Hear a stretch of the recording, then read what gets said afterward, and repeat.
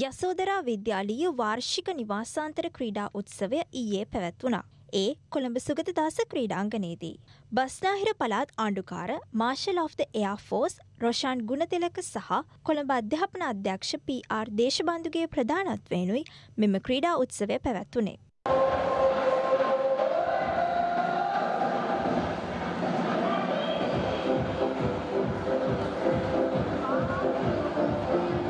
පාසල් විදුහල්පතිනිය වන නිලූකා සමන්කුමාරිගේ මෙහෙයවීමෙන් පැවති මෙම ක්‍රීඩා උත්සවය ඉසව් රැසකින් සමන්විත වුණා. විචිත්‍රවත් අංග රැසක්ද ක්‍රීඩා උත්සවය සඳහා එක්කර තිබුණා.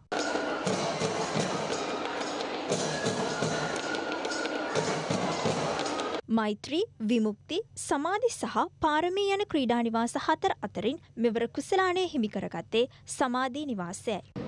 සමාධී නිවාසය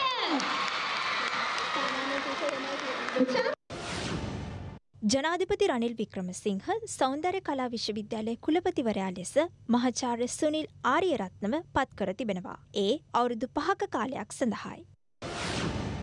මාස තුනක කාලයක් සඳහා CD වික්‍රමරත්නව පොලිස්පති ධූරයට පත් කරන ලෙස ජනාධිපති රනිල් වික්‍රමසිංහ නිර්දේශ කර තිබෙනවා. අදාළ නිර්දේශය ආණුක්‍රම ව්‍යවස්ථා සභාව අනුමත කර ඇති බවයි වාර්තා වන්නේ. මෙම පත්කිරීම පසුගිය මස විසි හය වනදා සිට ක්‍රියාත්මකයි.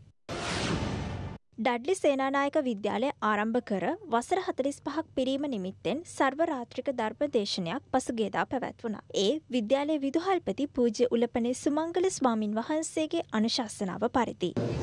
ඉමං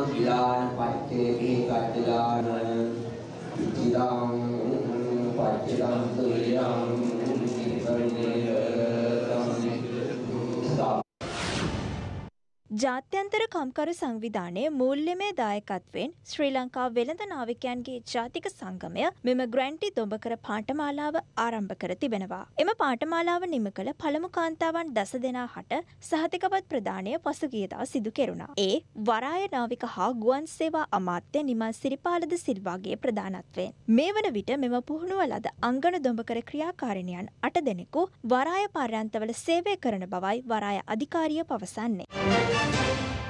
රටේ ලෝකෙ සිදුවන උණුසුම් පුවත් දැනගන්න සියත නිවස් YouTube චැනල් එක අදම සබස්ක්‍රයිබ් කරන්න.